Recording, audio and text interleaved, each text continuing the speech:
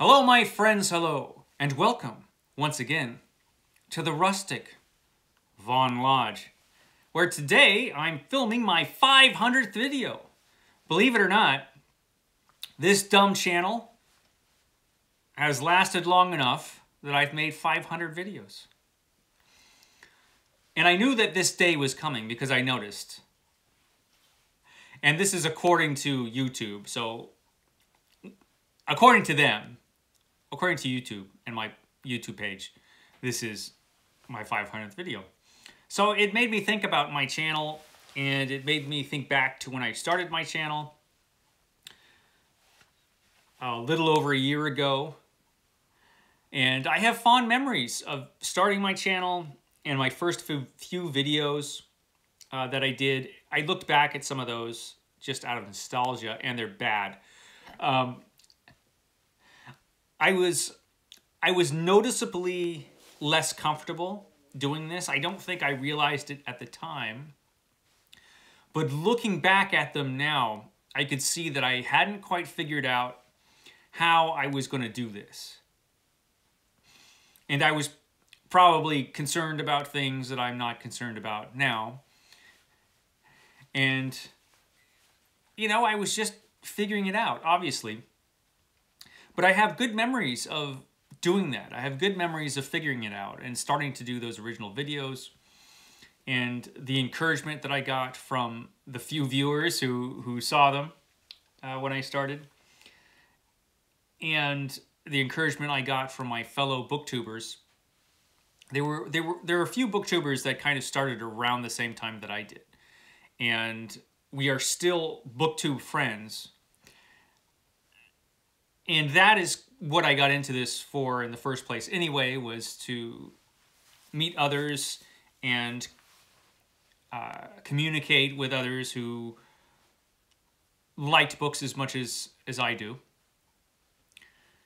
And the community aspect was the main thing for me, I think. And I I feel like I achieved my goals as far as that goes pretty early before I even got 100 subscribers.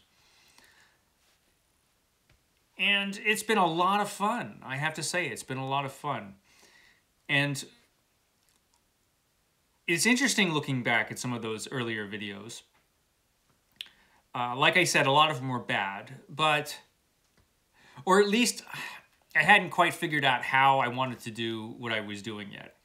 Of course, Feral, my, my book review of Feral by Bertrand Ruchet, that's not how you pronounce his name. Feral, my Feral book review, of course, is still the greatest thing I've ever done. And still not too, too many people have watched that, probably because it's so early. Although, my most watched video is the top 20 greatest novels ever made or ever written video, which is terrible. That was a legitimately terrible video, and it's the one video everybody's seen for my channel it's it's definitely the video that has the most views and it's a really early video. It's it's one of the first ones i did. So that's unfortunate. But uh, looking back it was fun to look at those. I, I realized i watched my review of dark matter. My my review of the book dark matter by blake crouch. And when that was an interesting experience because doing the video for that. And I remember doing the video for that because when I read that book, after I read it, I thought, eh, that was all right. It was okay. It was a good book, but it was not great. And that's what I say in the video as I started my Blake Crouch review. But I realized as I was doing the video that I actually thought that book was a big steaming pile of crap. And I realized why as I was talking about it. Everything that I didn't like about that book kind of came up as I was filming the video. And so it turns out I don't really think that book was good, but not great. I actually think in a lot of ways that book is a pretty bad book. But I didn't realize it until I had started making the video and I could see my I saw I watched this and I, I could see myself realizing, oh, that book was just crap as I as I was filming it. which was an interesting experience. Excuse my groaning dog. Why are you groaning down there? She's groaning, little Rhonda, under the table. So that was interesting to watch again. I've made, I've created one tag, which was the astounding science fiction tag. That was fun. And I had that experience, which many, many booktubers probably have, when they've created a tag and other people do the tag who you don't know and don't know you and they're making, they're they're recording their versions of your tag and they're like, I don't know who did this tag. You know, I've never heard of that person, but here I'm going to do it anyway. And that was interesting. It's interesting how, how tags float around out there. That was fun. I ought to do another tag one of these days. I think I'll do a horror themed tag one of these days whenever I get around to it. Hey, it's me watching this video from the future of this video. Actually, I was watching this and I realized I came to the part I I watch my videos over before I put them up just to make sure I don't say anything too dumb. I mean, I always say dumb things, uh, but you know, I want to make sure I don't say anything too dumb. Anyway, I came to the part of the video where I was talking about the astounding science fiction tag that I created. And I forgot to mention one of the one of the best stories about that tag is when I when I was filming it, I had I had got COVID. I got COVID, and I hadn't realized that I had COVID yet. And my body started reacting to having COVID. And it I had some strange reactions. And one of the things that happened is my upper lip swell, swelled up and it happened while I was filming the video. Only I didn't really realize it until I after the video I had finished the video. And so in the in the video, I literally have this swollen lip and it's like swelling up during the video. And nobody has ever mentioned it. I guess because I look so freakish anyway that just nobody noticed that I was starting to look like an alien as I was filming this tag. And I didn't realize how visible it was until the next day when I was putting putting the video up. I didn't even rewatch it until the next morning when I was putting the video up. And I had to make a thumbnail for it and everything. And then I realized, oh my goodness, I I look like an alien.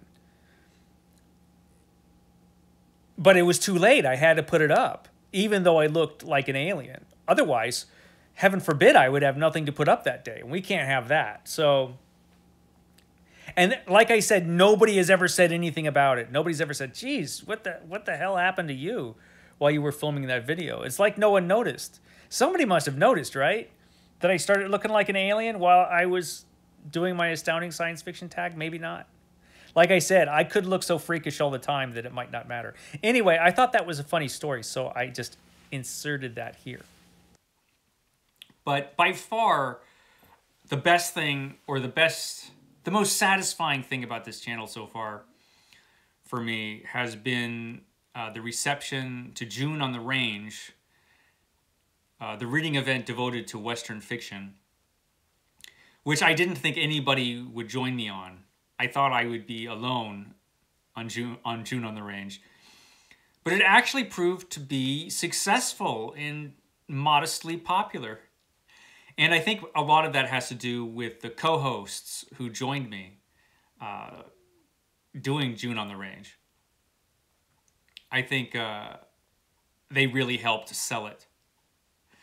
And it was a, a successful booktube event and a, and a nice experience. And I'm, I'm hoping that I'll be able to do that every June for as long as my channel is around. Which brings me to, I'm just babbling, but which brings me to my thoughts about the future of my channel. I make a lot of videos. I've made, I started off doing a video pretty much every day, then it was like six days a week, and it's still mostly that. Uh, the last couple weeks have been rough, so I've missed more days than usual. And that might continue through the month, I don't know. I don't know that I'm always going to be able to keep up that pace of a video a day or almost a video a day. But I might. Because one thing I've noticed is that I have no, I, there's no shortage of ideas, of video ideas. There's so much I want to talk about that no matter how many videos I make, I'm never going to get to probably everything I want to say. Probably because, you know, I've been reading books, you know, for over 40 years and thinking about book, the books that I've read and really have had a lot of ideas about the books that I've read that I have never had a chance to express because nobody's interested. But this gives me a chance to talk about it. And there, I ha still have a ton of ideas. But looking back at some of my earlier videos, I noticed that there were some things that I talked about in my earlier videos that I want to revisit and talk about again now that I kind of know what I'm doing. For example, one of my earliest videos was a Richard Matheson video, which wasn't bad.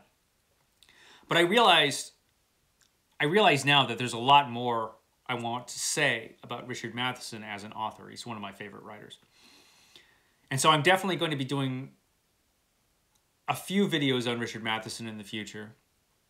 The same goes for Ray Bradbury. I've got at least one Ray Bradbury video that I really want to do, uh, and probably several more after that. Uh, a lot of stuff that I did when I first started, I'm going to kind of revisit some of those ideas and do them now that I've had a little bit more experience doing this.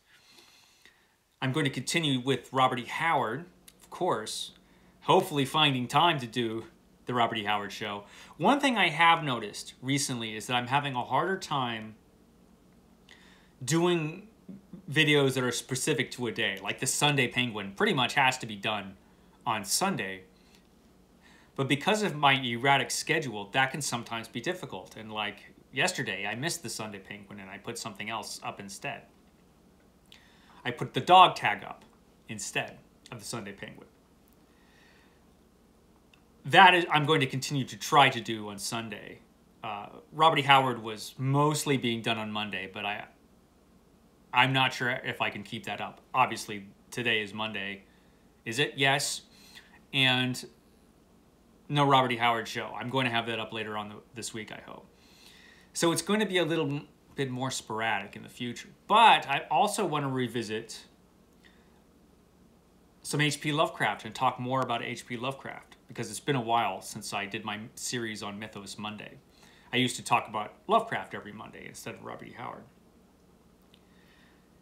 And so I have a lot more to say about Lovecraft I have a lot more to say about a lot of stuff. And I'm going to be doing a lot of videos specific to an author and their works.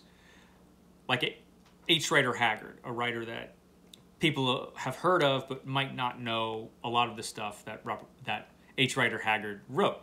He wrote 60 plus books, very few of which ever get read nowadays. But they are all available as ebooks, so you can read them. So I want to talk about H. Rider Haggard, uh, William Hope Hodgson. I want to talk about. Uh, I've intended to talk about that author and his works since I've started. There are a lot of authors like that. H.G. Wells needs a revisit. Even though I've talked a bit about H.G. Wells, I want to talk more about H.G. Wells.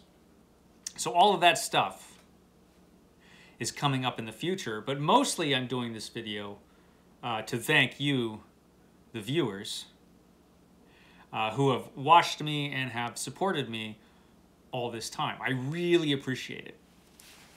And this year is pretty much booked mostly. I've talked about my plans for this year. Although there is going to be a change. I said I wasn't going to join any more reading events. And it turns out I'm going to because there's one coming up that hasn't been announced yet that I just can't pass up. I just can't pass it up.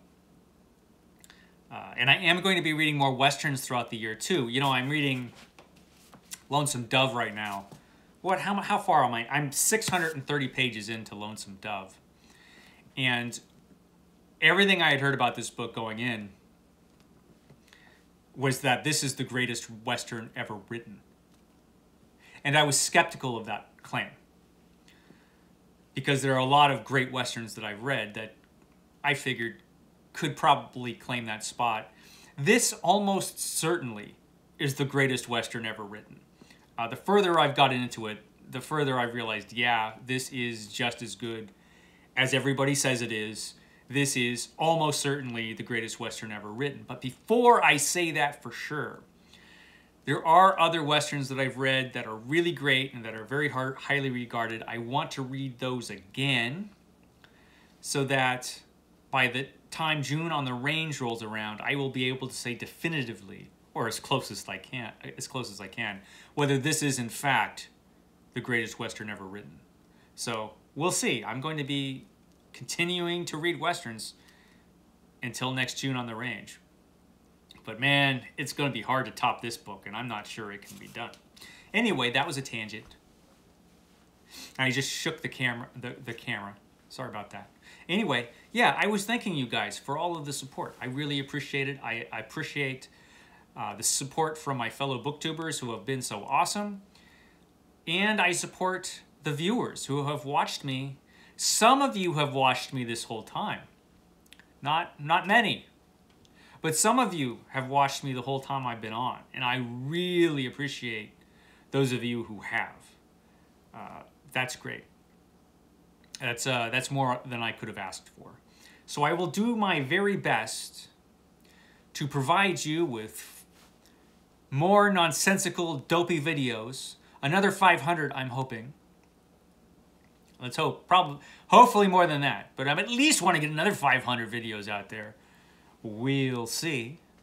Uh, all for free, of course. You know, YouTube probably puts puts videos on the front of my, or puts ads on the front of my videos. You know, but I will never put ads in my videos. But YouTube probably does. Damn them. Damn them. Okay, that's all I have to say. I will catch you next time.